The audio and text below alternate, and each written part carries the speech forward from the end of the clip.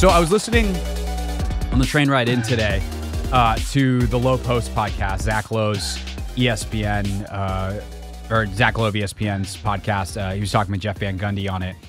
Um, they were talking about Memphis, who right now is probably the favorite in the Western Conference. They've had the best combination of past success, uh, current excellent play, all of those things. Like obviously, a lot of people are going to be like, if I if I ask just random people on the street, like, hey, who do you think is going to win the West? They'd probably be like, well, the Warriors. But the Warriors haven't played well enough this season to really warrant that right now. I mean, the Warriors have a negative point differential on the year. Uh, the best point differential in the league, uh, or in the Western Conference, is Memphis. They're second in the league behind the Celtics. Uh, they're they're winning every game by an average of six points. And by the way, they've also won ten in a row. They are cooking right now. And Zach said, you know, they probably don't need to make a trade. It doesn't seem like they think they need to make a trade with the deadline coming here in about three weeks. Um, but if they did, maybe they could move something for a Kyle Kuzma, and and he could be their seventh guy. And he said that, and I was like, hold on, rewind, rewind, rewind. Give me give me back thirty seconds. What team we're talking? Okay, we are talking about Memphis. I did hear that right trade for Kuzma, and he could be their their seventh guy. And it was at that point, Anthony, I realized just how far the Wizards are away. Because as of late, Kyle Kuzma's been the Wizards' number one guy. Now, granted, some of that is positional, and realistically, is Kuz. Eh, would he be in the lineup for them if if he did get traded to Memphis? Right? He'd be on the floor to finish games for them.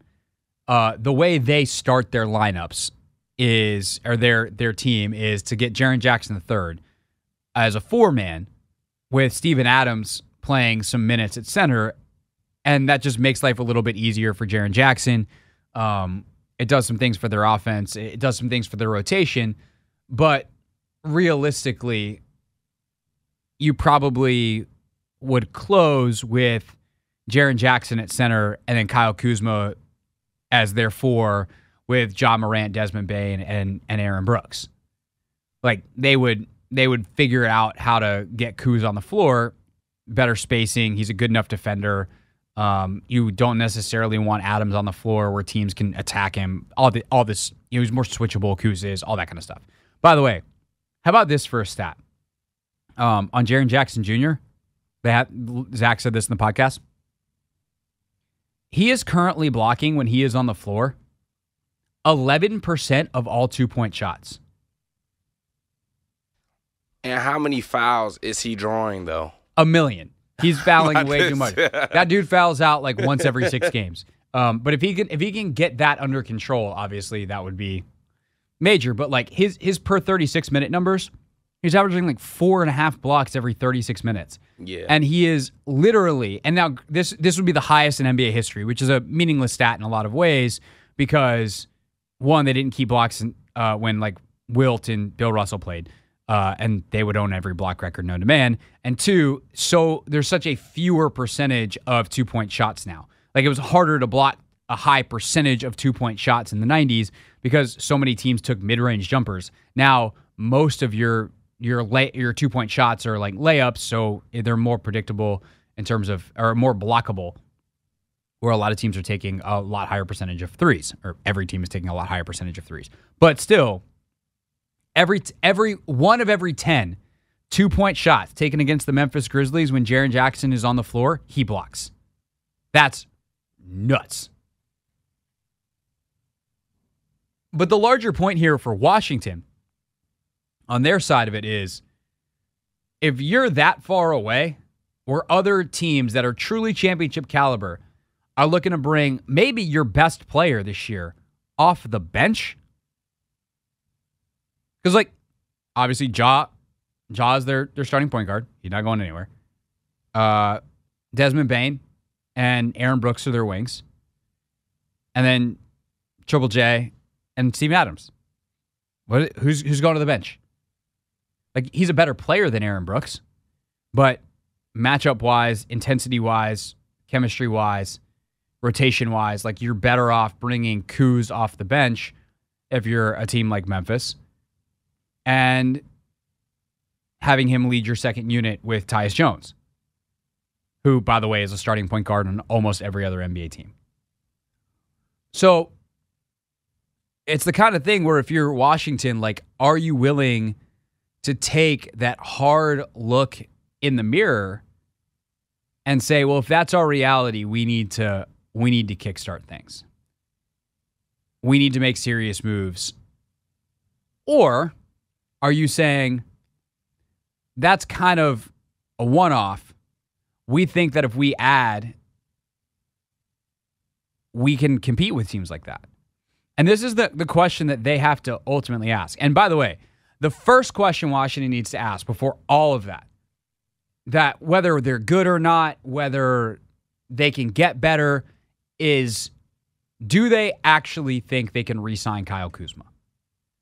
Um, and Shams Charania of The Athletic and Josh Robbins, the local uh, Wizards beat guy for The Athletic, put out a story not too long ago that, like, we're talking two hours ago, that uh, a bunch of Western Conference teams are, ex- are, have started to reach out to the Wizards on Rui, and they've got kind of this obviously swell at forward where Kuz is the starter and Deni is is coming off the bench, and and then Rui is also coming off the bench. I mean, it depends on the night. Those guys are, you know, Deni sometimes starting, sometimes coming off the bench. But the point is, like Kuz is is a natural four man. That's Rui's preferred position, and it's easier for Deni and Kuz to play together.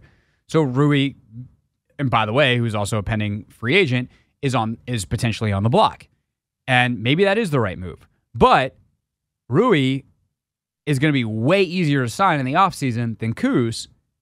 And you have to ask yourself, realistically, can we re sign Kyle Kuzma? And that starts with financially, can you afford it? The answer is yes. Uh, it's going to hurt, but you can. But he's also an unrestricted free agent.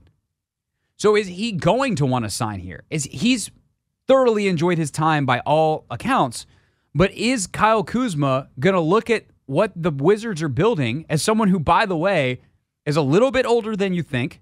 It's not like he's 22. He's been around for a, a, a, a few years. Kuz is 27. He's won a championship. He knows what that feels like. He knows what that kind of roster looks like. He knows what it takes. He turns 28 in July. Is he going to sign a four year deal here?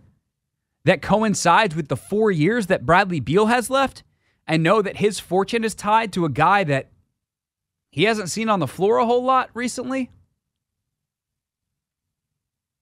I don't, if I was Kuz and I could get pretty close to the same money somewhere else, I wouldn't sign here. And so, realistically, if you're the Wizards, all discussions about what you could build around Kuz, Porzingis, and Beal need to start with a reality check that that might not be possible because one of those guys, or frankly, two, Porzingis could just as easily, and I think KP is much more likely to stay than Kuz is. And obviously, they're having these discussions, and you know, Kuz has an agent, and Porzingis has an agent, all that. Porzingis has a $36 million player option for next year. Um, he also could opt out and become an unrestricted free agent as well.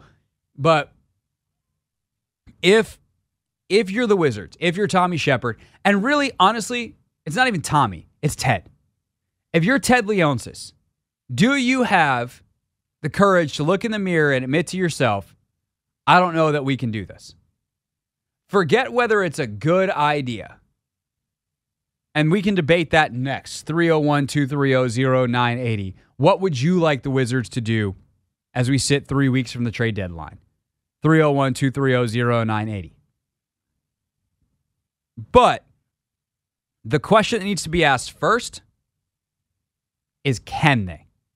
Because if the answer is no, or you think it's even 50 50, you need to trade Kuz.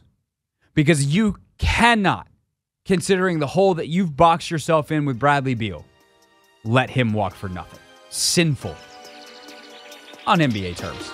If, uh, that's what you do.